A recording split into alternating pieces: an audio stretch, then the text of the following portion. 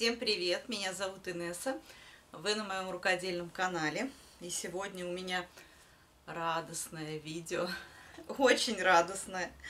А, потому что я завершила большую работу от фирмы Золотое Руно. Не буду вас томить, сразу покажу.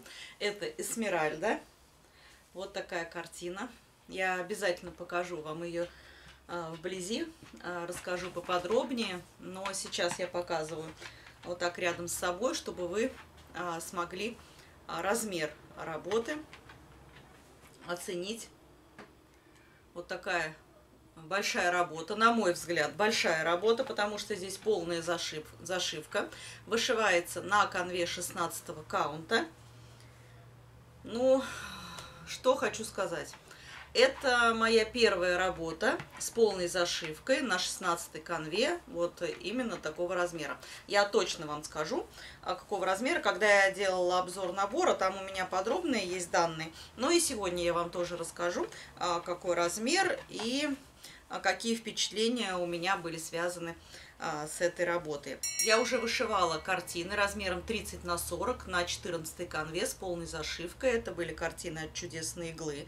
У меня есть такие готовые работы.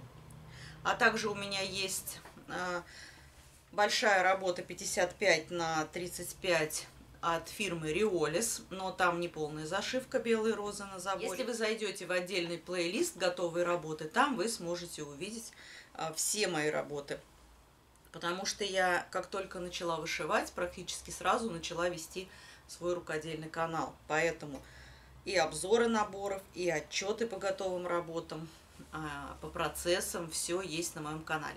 Правда, в последнее время я не очень активно веду канал, потому что у меня есть влоговый канал, и ежедневно я снимаю влоги. Летом мы в основном отдыхаем, и э, я выкладываю влоги на свой канал «Жили-были».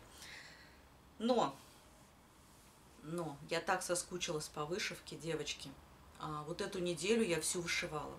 И сегодня утром я уже вижу, что осталось несколько крестиков, я вообще не ложилась спать, я до 9 утра вышивала. В 9 утра я закончила эту работу, а, пошла ее сразу стирать, а, постирала, немножечко подсушила, поспала 2 часа, и я не могла спать, потому что мне горела, ее быстренько погладить и отнеси в багетную мастерскую. Я не знаю, сегодня э, попаду ли я в багетную мастерскую, потому что Тимур занят, забрал машину, уехал, но я сегодня же хотела ее отдать в багетную мастерскую на оформление.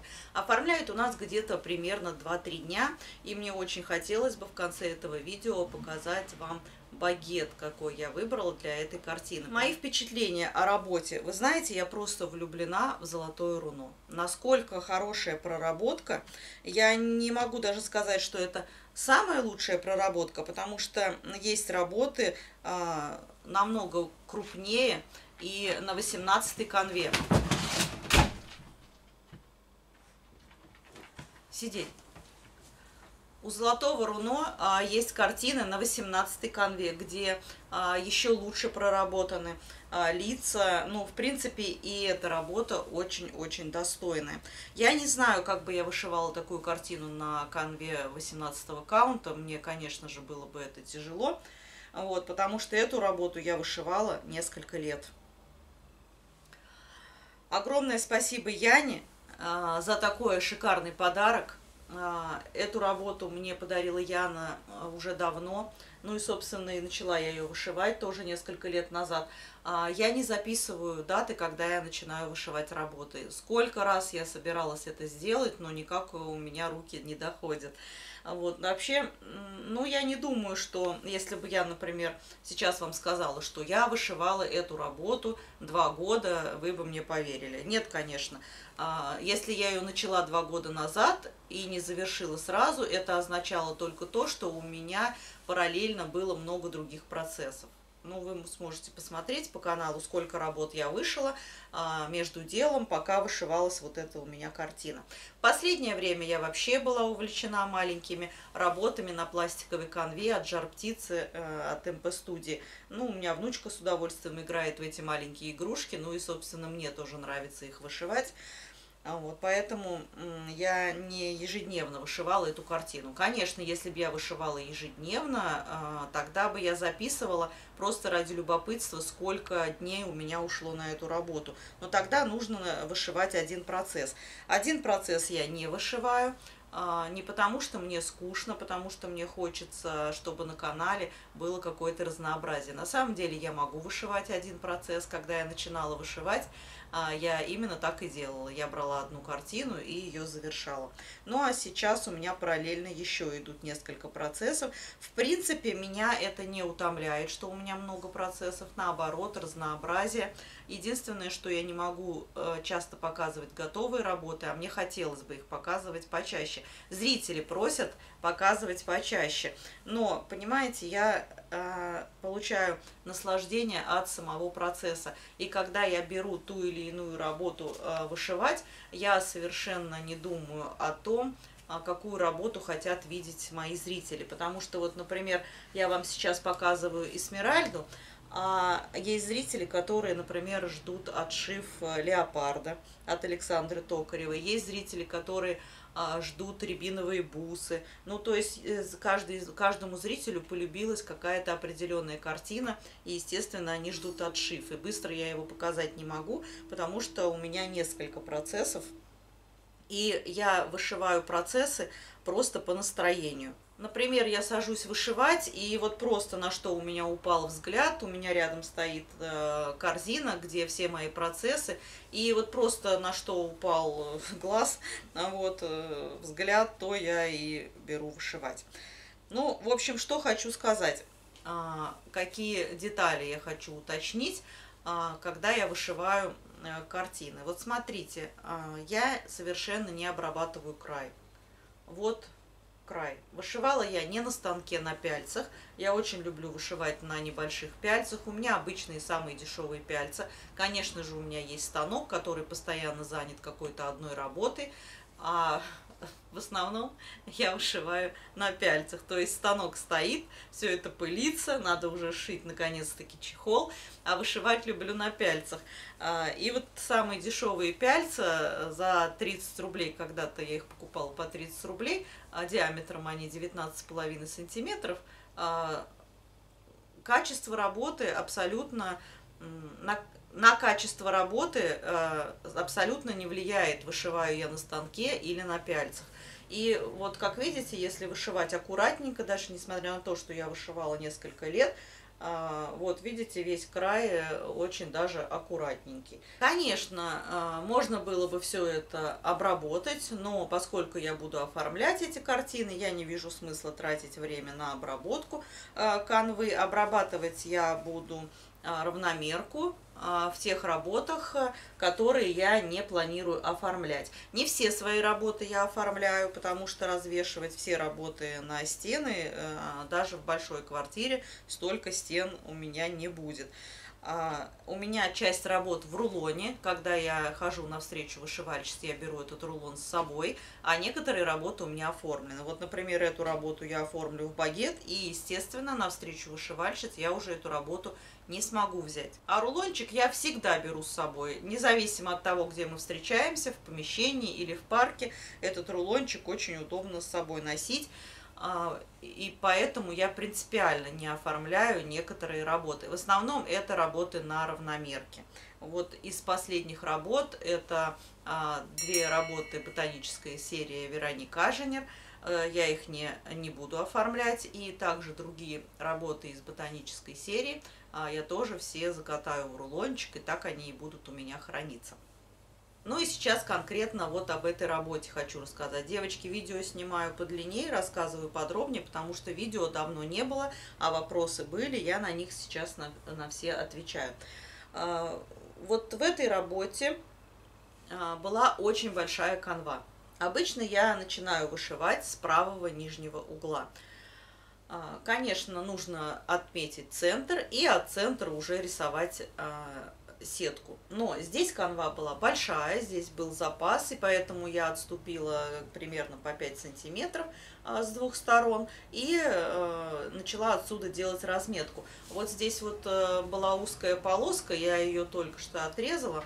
А, на самом деле экономила канву, думала, вот эта полоска мне пригодится для а, без корнюшек, но она получилась очень узенькая, 10 сантиметров, и вряд ли она пригодится, но на самом деле а, я решила сэкономить э, канву, и поэтому начала вышивать с правого нижнего угла, хотя все работы я начинаю от центра.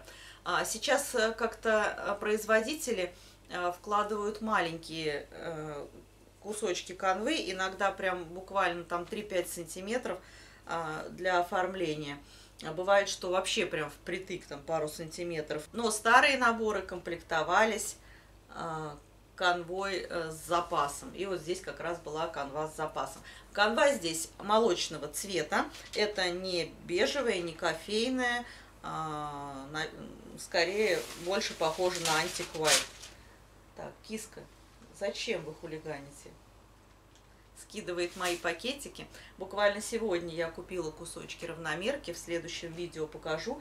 Положила рядышком, но кошечка моя а, скидывает по очереди каждый пакетик.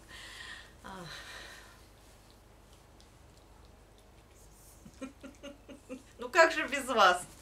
Ну как без вас? А, любит мама, тебя любит. Девочки, когда я в той комнате веду трансляции, они возле меня. Когда я снимаю видео, они тоже возле меня. Поэтому прошу прощения, но так. Так, сидеть. Сидеть. Спокойно сидеть. В общем, они активно участвуют всегда в съемках, э, видео. У меня на канале э, очень много трансляций, и трансляции длинные. В этих трансляциях я отвечаю на вопросы, и мне кажется, что на все уже вопросы вот по этой работе я ответила, если честно, даже не знаю уже, что о ней рассказывать.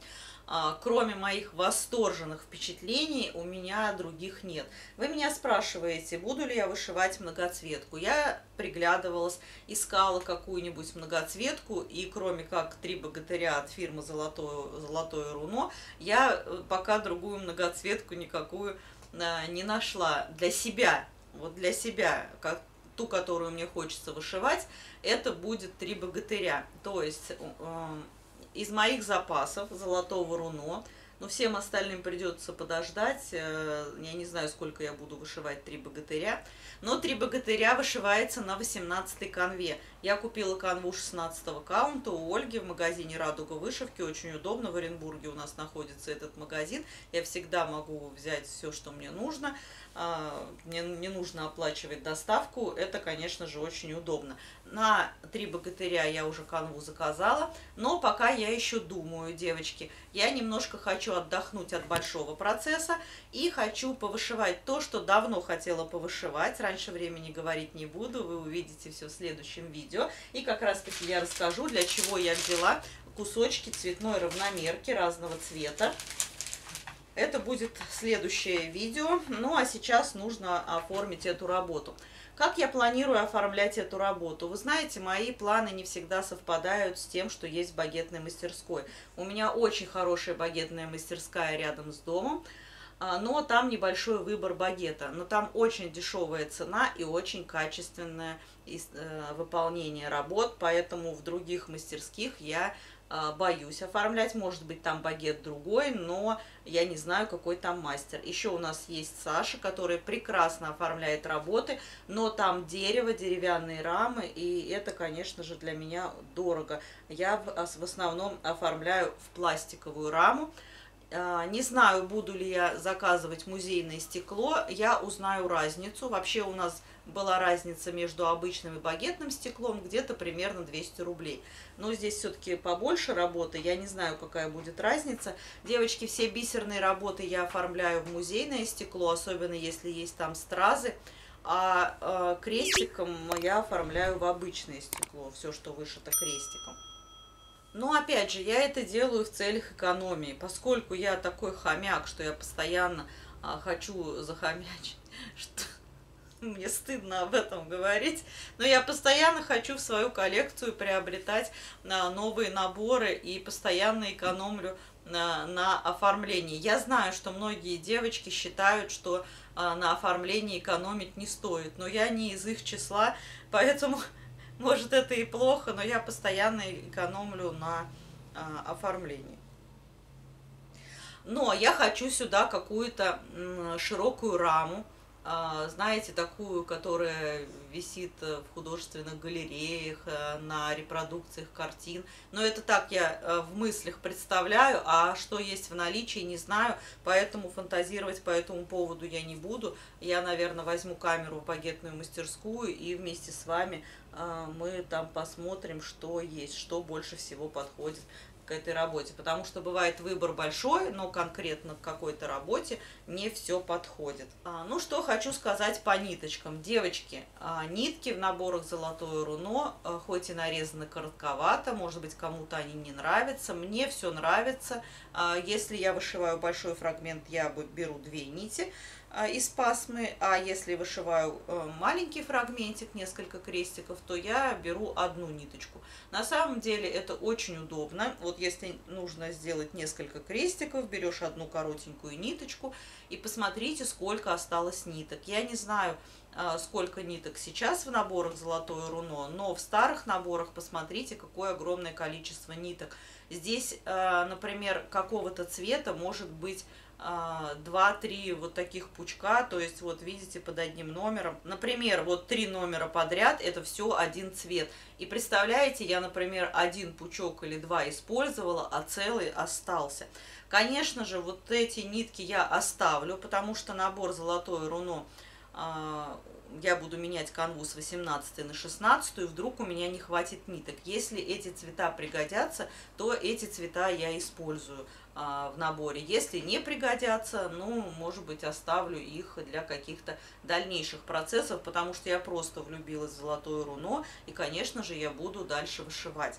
Некоторые девочки говорят, что вышивать фон в наборах «Золотое руно» им скучно. Девочки, вот в этом наборе мало того, что было не скучно, даже было сложно.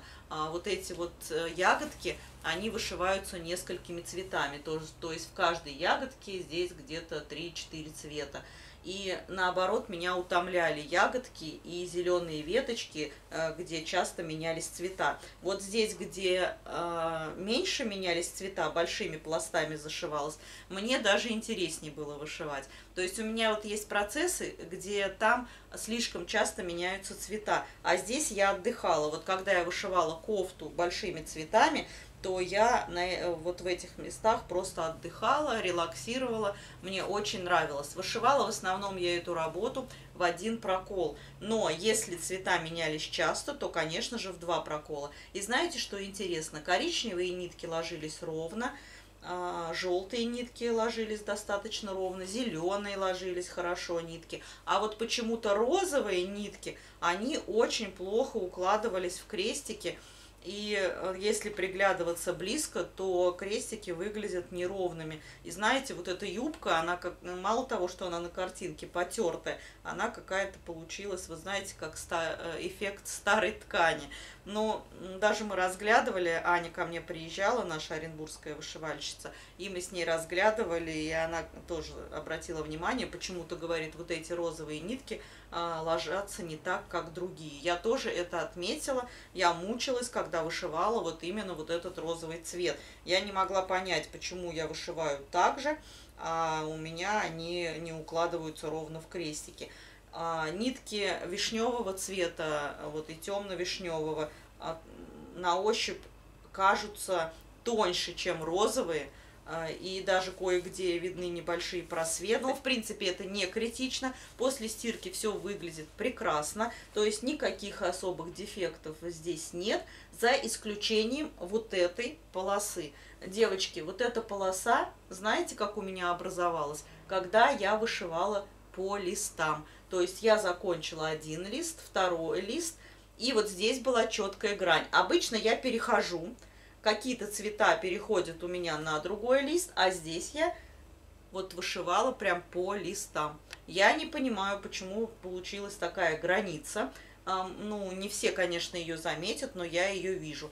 И особенно она видна на изнанке. Кстати, вот заодно покажу свою изнанку.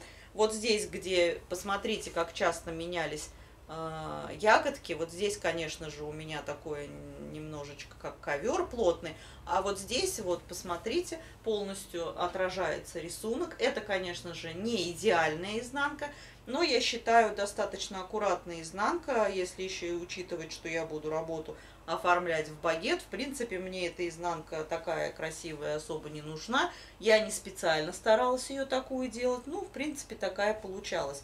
И э, вот как раз сейчас э, ниточку зашила, надо отрезать. Нечаянно сюда зашилась желтая ниточка. А, вот эта граница, конечно же, мне не очень нравится, не очень нравится. Но я думаю, что если я не буду ее показывать и заострять внимание, мало кто заметит.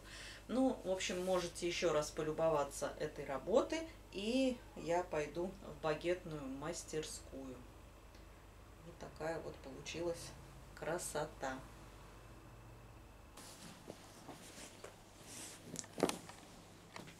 Да что за концерт? Что за концерт по заявкам? А кто разрешал? Не так кто разрешал тебе на картину? Она постирана, поглажена. Тебя снимать? Как тебя разморило? Ай-яй-яй. Ай-яй-яй. Сейчас хочу вам показать в сравнении с превью, что заявлено у нас на превью и что получилось в готовом виде. Как видите, готовая работа ничем не хуже чем на картинке. Ну и сейчас технические характеристики. Размер работы 43 на 29.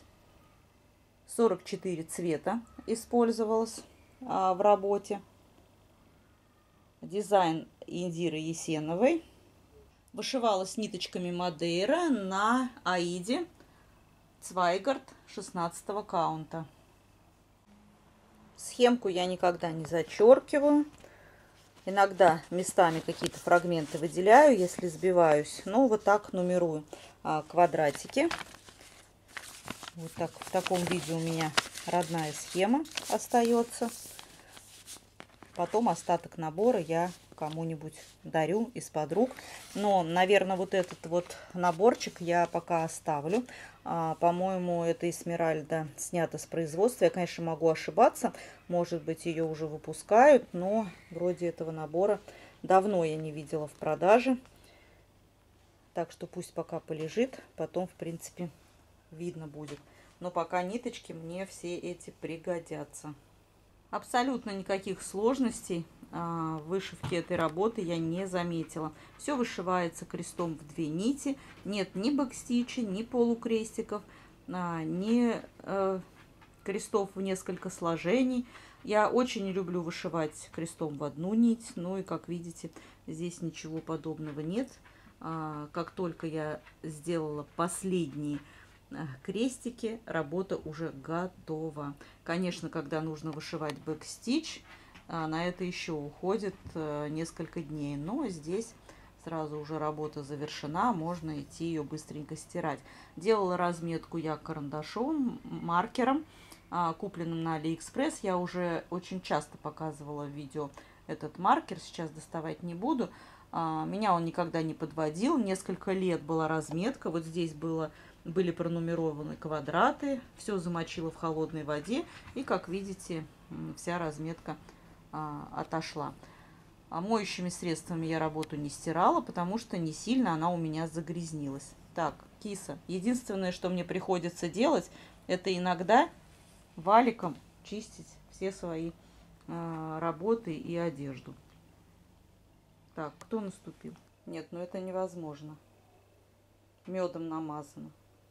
Девочки, много я разложила, на стол не умещается, мне приходится на кровать разложить. А кровать всегда занята. Кошмар. Сейчас те, кто не, животных э, не очень любит, будут злиться. Ну. Ой, ой, довольные. Вон они тут собрались. Покушаются на мою картину. Все, девочки, сейчас чищу а, валиком прохожусь еще раз валиком и а, несу в багетную мастерскую. А для вот этих целей нужен рулончик. Вот, но А, у меня есть рулончик, я там храню свои работы а, готовые. Вот. А для того, чтобы носить багетную мастерскую, вот есть такой тубус да, для чертежей. Можно, конечно, иметь туб, тубус, но нужно наматывать тогда на валик, чтобы не э, сминалось. Потому что как ни гладь, все равно сминается. Хотя успеваем, если они только раньше времени не закрыли. Так, а фотку мне сделать, Тимур? Так точно не успеешь.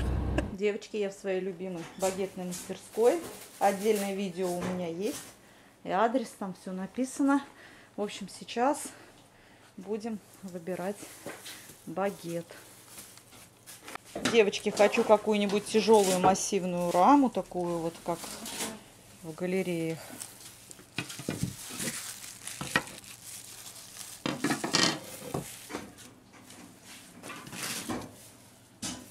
Хорошо, она строгая, но она такой по цвету сложную глубину дает. Хорошая. Да, цвет хороший, но вот она гладкая, а мне что-нибудь хочется рельефное такое вот. Потому что у меня никуда не подходили вот такие вот рамы, а я их все время хотела. Да, вот это симпатично. Да, да, да, да. Вот это мне нравится. Вот это нравится мне рама. Здесь немножечко узор.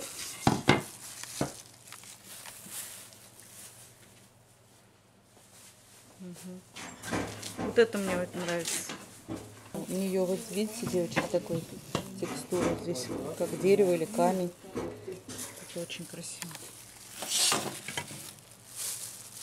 Мне кажется, это не ярко. Надо более сочное что-то. Угу. Давайте вот это оставим. Стекло обычное делаем? А давайте посчитаем, сколько стоит музейное и сколько обычное. Какая разница будет. Девочки, вот у меня так вот, если у меня глаз упал на эту раму, то дальше я, бывает, и не выбираю, потому что потом уже э, глаза разбегаются, и уже ничего в итоге не выберешь. Вот это тоже очень красивая.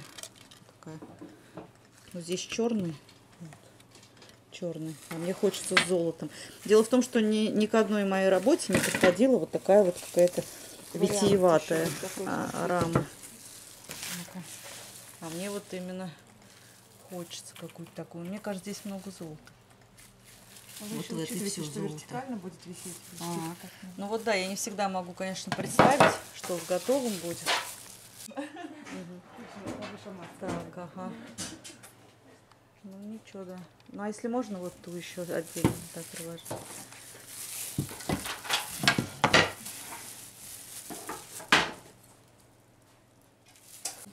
Девочки, музейное стекло вот на такой размер э, на 1000 рублей выходит дороже. Я обычное заказала. На бисер я на стразы э, делаю музейное, а сюда обычное. В принципе, у меня дома все картины под обычным стеклом. Девочки, мы так торопились в багетную мастерскую, я думала, мы не успеем. Прям бегом бежали. Вы знаете, прям какое-то событие века я завершила картину, надо срочно оформить. Смотрела видео у Маринки Про, где она завершила свой анимон. Вот у меня такое же сегодня было событие. Нужно было срочно успеть. Так, что-то Тимур здесь купил, но это уже будет на канале Жили-были. Я думала, не успеем. Думала, у меня инфаркт Микардо будет. Ну что, оформила я Эсмеральду. Вот такой выбрала багет.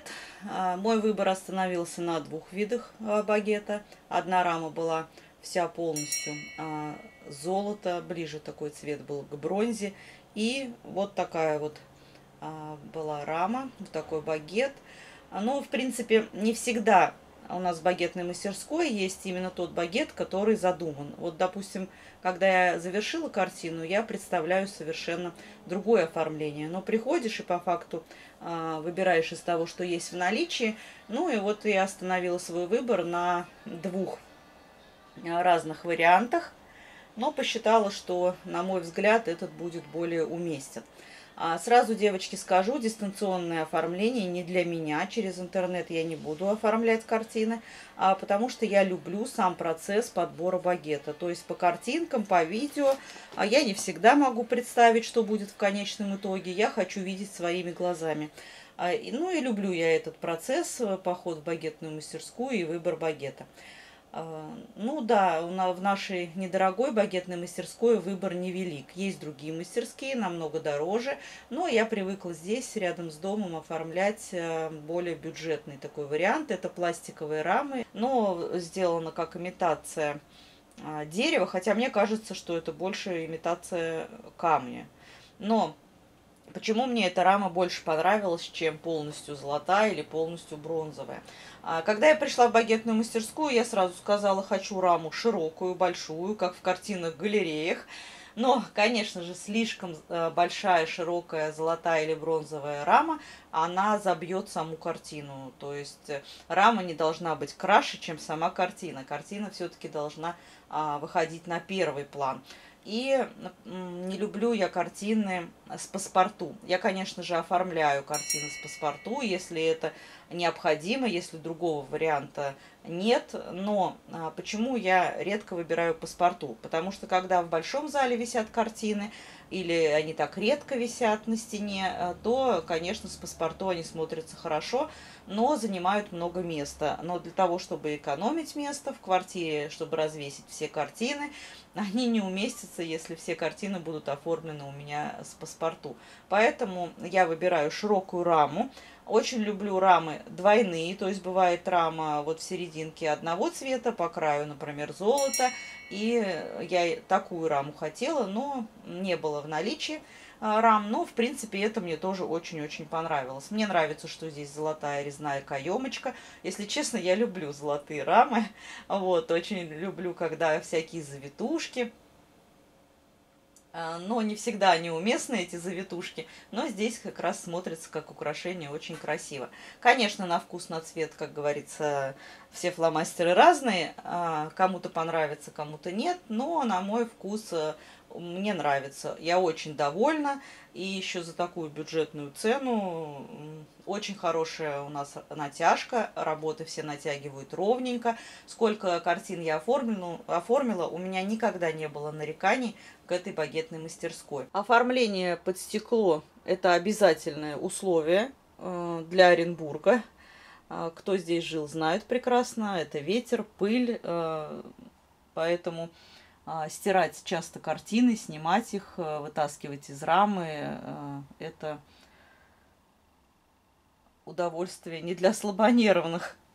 Ну и при частой стирке понятно, что потом будут э, ниточки выцветать, они уже не будут выглядеть такими яркими. Ну и сейчас хочу поподробнее остановиться на самой разработке а, золотого руно. Хочу немножечко прокомментировать их схемы, а поскольку это первая большая завершенная работа от золотого руно, ну, относительно большая. Если сравнивать «Три богатыря» или сравнивать многоцветки, конечно же, а, это размер небольшой, но вышивалась на 16 конве. Собственно, для меня это большая была работа. Мне понравилось вышивать большие масштабные работы. Хоть я и вышивала ее долго, потому что параллельно у меня были другие процессы. Я очень люблю отвлекаться на маленькие процессики, но схема меня нисколечко не утомляла. А если бы у меня была одна работа, вот я бы ее одну вышивала, здесь такие яркие краски, я вполне могла бы, не отрываясь, вышить эту работу. А схемы золотой руно на первый взгляд только кажутся сложными, но когда начинаешь вышивать, глаз привыкает, и уже потом все идет как по маслу. Вообще, конечно, смотря с чем сравнивать. Разработка золотого руно мне очень понравилась, но сейчас я хочу попробовать многоцветку. Хочется попробовать что-то для себя новое, то, э, чего я еще не пробовала. Конечно же, если учесть, что в многоцветках 200 цветов и плюс еще бленды, а, там бывает и более 200, и сравнить золотое руно, где гораздо меньше цветов и меньше размер картины, а, некоторым вышивальщицам кажутся разработки примитивные. Но если учесть количество цветов и размер картины, я считаю у золотого руно прекрасные разработки по доступной цене. Ниточки здесь Мадейра, они не дешевые. Канва Цвайгард, очень хорошие материалы. В общем, я считаю фирма Золотое руно на 5 с плюсом выполняет свою работу и разрабатывает схемы. Конечно, те, э, те, кто вышивает многоцветки, не очень довольны этими резкими переходами. А, большие пласты вышиваются а, одним цветом, но это и понятно, если учесть количество цветов. Чем больше цветов, тем больше подчеркнуты детали. Чем больше одиночных крестиков, тем а, реалистичнее выглядит картина. Конечно, у золотого руно видно, что переходы кое-где а, резкие, а, цветовые пятна большие, но а, в этой ценовой категории картины вполне оправданы. Я считаю, что разработки очень хорошие. Но все-таки хочу сравнить, вышить многоцветку, чтобы потом в итоге повесить две картины рядом и своими глазами на это посмотреть и э, сравнить. Конечно же, сравнивать через интернет очень-очень сложно. Ну, я не знаю, на сколько лет будет рассчитан мой э, большой процесс. Вообще годы меня не пугают, потому что я вышиваю уже более пяти лет. И если сплюсовать все мои крестики, вышитые за пять лет, наверное, это и будет одна большая многоцветка. Я, собственно, думаю так. Поэтому некоторые считают, что если я начну многоцветку, то я буду день и ночь строчить, как швейная машинка. Нет, девочки, я также буду вышивать, как и вышивала эту эсмеральду с перерывами. Э, буду брать маленькие процессы процессике, а, чтобы этого не было напряжно. Вот, собственно, как эта эсмеральда у меня между делом вышилась, а, точно так же я планирую вышивать многоцветку. А, много споров по поводу этой картины. Кто вышивает многоцветки, говорят, что не очень нравится примитивненько выглядит. Ну, а девочки, кто вышивает маленькие работы, считают эту картину масштабной. Поэтому, девчонки, все познается в сравнении. А лично я работой очень довольна, мне она нравится. Эта картина, несомненно, будет в моей коллекции. Я ее никому дарить не буду, потому что это первая моя картина от Золотого Руно. Я еще вышиваю рыжего кота, но, девочки, рыжий кот вышивается намного сложнее. Там а, все цвета рыжие, вот там действительно а, много одиночек, и очень сложно вышиваются ветки и э, снег. Я сейчас не могу вам показать, э, у меня все в коробках, а, все уже переехало все в новую квартиру, поэтому а, посмотрите в старых видео, там в процессах есть рыжий кот. Если вам интересно, вы поймете, о какой картине я говорю. Вот там вышивается гораздо сложнее. А вот эта картина Эсмеральда, она вышивалась а, очень легко. Поэтому, если хотите попробовать, а, то ничего сложного здесь нет. А, самое сложное было это ягодки и бусы а, вышивать, потому что там вот было много одиночек, а, каждую ягодку нужно было закреплять отдельно. Конечно, кое-где я делала перетяжки, но все-таки длинные перетяжки я не делаю. А, ну, ниток у золотого руно много, рассчитано, по-моему, на перетяжки а, и на большие хвостики. Поэтому можно смело вышивать, не бойтесь, у золотого руно всегда нитки с хорошим запасом. А, собственно, ниточки я оставлю, я уже говорила, потому что буду вышивать другие процессы от золотого руно. Хочу поменять э, у, трех богатырей 18 каунт на 16. 18 мне сложно вышивать.